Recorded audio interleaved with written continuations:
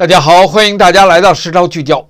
呃，这是我，这是我根本没有想到的一段故事啊！这是，这确实是没有想到。美国 CDC 美国疾病控制中心的主任今天澄清，应该是今天三十一号鬼节这天澄清，十八岁以下没有打疫苗的外籍人士到了美国之后不需要隔离。呃，我跟从来这是没有想到的故事。啊，美国人这么干，呃，大概有有几种，我以我以为有几种可能了，这个这只能这么说了，因为现在已经完全不是疫苗的问题了。呃，第一个先跟大家澄清这背景：十一月八号，美国所有到美国的人都必须打疫苗，有疫苗护照才能乘坐飞机。呃，加拿大提前了他一个星期，是在加拿大是从昨天开始，所有在加拿大境内旅行的，啊，乘火车也好，乘轮船、火车、轮船、飞机，啊，都必须有疫苗护照，啊，这个这是这是联邦政府说的，都有疫苗护照，所以他们为什么做这么做？我跟大家解释过，这是当代的精英，就是曾经的李莲英太监。所以，太监要娶四个老婆来表示他的雄风尚存。那什么意思？就像我们说，你看那个库莫，库莫都是在他州长官邸，库莫是在州长官邸去侮辱他的下属女职员的，去动手动脚的。啊，克林顿是在白宫椭圆办公室、椭圆桌办公室。干出了比较冠冕堂皇的事情，那些地方都是权力中心了。那这些人都是当代精英者，所以精英崇拜权力，在一个权力的中心去展现自己阴邪的不足之力，他干不了什么。你放纵欲者，他都不会满足人家的需要的，真干点什么，但他。有权利，所以他身体不灵了，就借助权力去表、去放纵他，去寻求那点感觉，神经末梢的那种抖音，抖音，其实是这个。日本人，日本男人打工不回家，得出门喝清酒，否则的话不是男人。卡拉 OK。就是日本男人发明的。为什么？工作压力太大。你看，乱七八糟的很多这个这个这个成人故事也是日本人干的。日本人干都是蹊蹊跷跷，技巧上都是擦就拐弯抹角、擦摸擦眼的。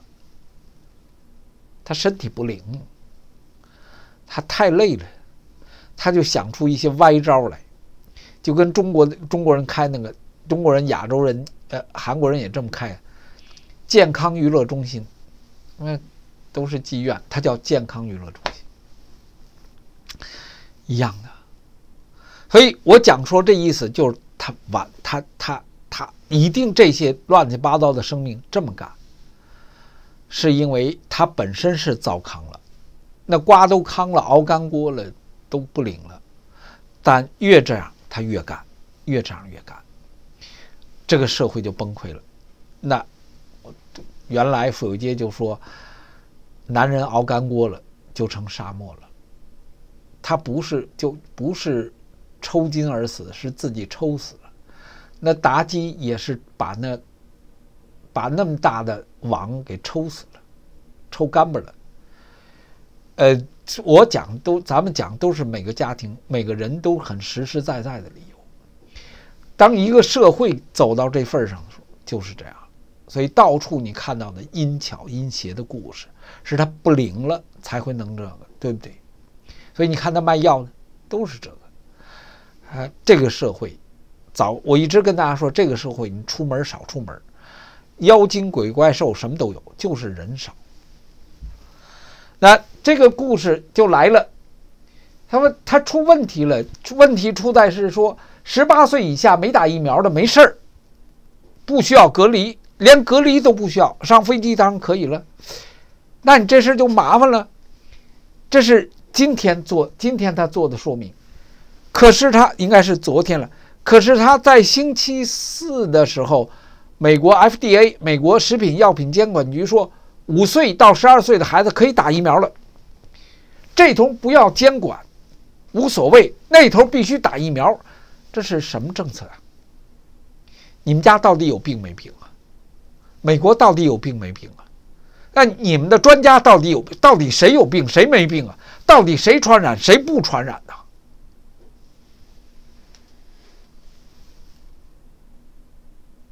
我早跟大家解释过，十一月一号，默克药片一出，疫苗这事儿溜肩膀了，没了，这就慢慢就溜了。所以，所有打疫苗的都集中在十一月中旬。你不干就整死你，然后结终极日是明年一月中旬。为什么？多打一针他就多赚一份钱，都是抽成的。这面是这么说，另外一面是干嘛？那抽成的人做药的是政府投钱，做完药之后你得卖呀，是政府推广。看然后呢，在推广的人当中呢。这些政客们都要展现自己，就是展现自己政治淫荡上的权力的快感啊！没一个正常人，我跟你说，就没一个正常人，所以这是标志。这个疫苗这事儿过去了，疫苗是场运动。美国疾病控制中心今天澄清，应该是三十号啊，这是这是台湾媒体报的，没有接种疫苗的。十八岁以下的外国籍的儿童青少年搭乘飞机到达美国，不需要自我隔离，连隔离都不要了。你要没打疫苗，说十八岁以下没打疫苗，你要在家隔离七天，我听起来是顺理成章的。现在连七天都不用隔离，十四天不用说了，国内有说三十一、二十一天的，七的倍数啊！我跟你说这意思就是。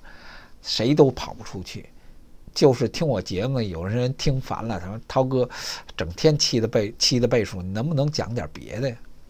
真相就是真相，讲别的叫骗你。” CDC 主任签署修正指令，你看，他原来没这么定，为什么？疫苗没用了，药片快出来了。所有他们都是利益共同体，从利益上想，药片快出来了，没有接种疫苗的搭乘飞机不需要隔离七天。你看，因为先前二十五号的指令引发了部分外籍游客惊慌，担忧他们的小孩到美国后必须隔离那么久。你到底是为人民服务呢？你到底是为了老百姓安全呢，你还是为了自己快感呢？我刚才说了，医生是当医生是为了挣钱多，没有一个救死扶伤的。他的医疗官员、他的卫生官员、他的他们都是医生了。如果他们是救死扶伤的，他们不会为了达到疫苗的时候。为了接种疫苗，会把那些不打疫苗的人往死了整，这还听不懂？所以你听了他们的人，你听了这种人的做法、说法，你活该。他不是救死扶伤，一个善良的人，别人拒绝我。我都不会说一定反报别人，你们很多去读圣经的，对不对？打你左脸给右脸，为什么你要给右脸呀？为什么你要给右脸呀？天天在那读那个经，其实就是你心里不能有怨恨。啊，你的解释不是啊，你身上有罪，所以让他再打一把。你可以不从不同角度去解释了。但是有一样就很简单喽，对不对？你不能对人这么狠呢！你不听我的，我就整死你，那是善良吗？那我一生都是这个是善良吗？哦，为了全国好，为了大家好，我们一定打到百分之九十。我们讲你就是你是邪恶的，谁让你不打，就是你最破坏。谁让你这么讲，好像你居心叵测，你不不不不不不不他讲都是道理，讲道理的人大多是邪恶的，是凶狠的，他没有善良的本质。我说的是这意思。人说善良的，善良明明道理在那里。他都会默许的低头躲开，那叫善良。为什么？他不想伤对方，不想让理由的概念让对方处于尴尬的状况。十一号啊，十一月八号解除特别限制令，限制禁止过去十四天。那些限制令禁止过去十四天在英国。